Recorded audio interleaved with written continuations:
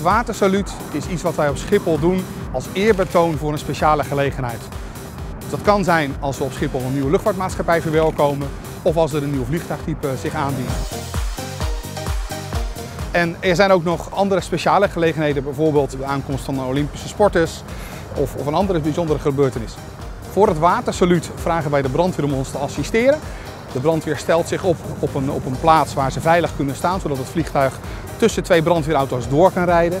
En op het moment dat het vliegtuig dan tussen die brandweerauto's door gaat rijden, uh, zetten ze het waterkanon aan. Het waterkanon maakt een, maakt een boogje en het vliegtuig rijdt onder het waterboogje door. Waar een brandweerboogje precies vandaan komt, weten we niet. De, de, luchtvaartwereld is van oorsprong heel erg nauw verbonden met de zeevaartwereld. Dus wij denken dat het daarmee te maken heeft.